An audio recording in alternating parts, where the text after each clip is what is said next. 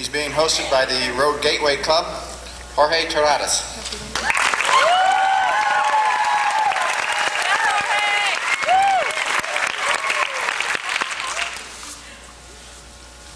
District Governor, Rotarians, and fellow students. Hola, my name is Jorge Terrats, and I live in the city of Merida, Mexico.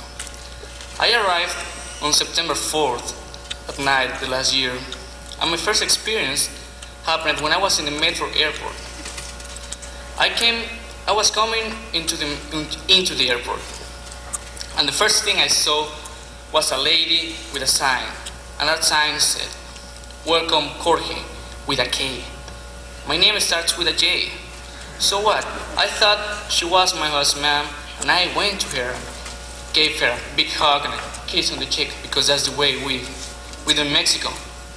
So she just turned around and with a looking, with a weird looking and said, "Who the hell are you?" I said, "Oh, Aren't you my mom, my host mom, Linda? No.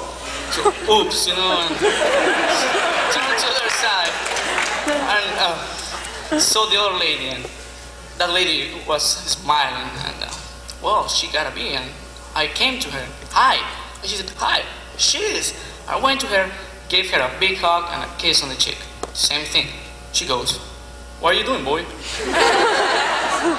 Aren't you my host, Mom Linda? I don't think so. Oops. I was thinking, what a dork. I didn't know what to do. I was nervous, embar- embarrassed. I was mad. I kept walking into the airport and I saw six persons with a sign upside down.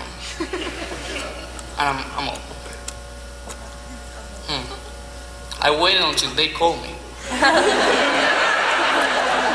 They said, hey George, whoa, that's me.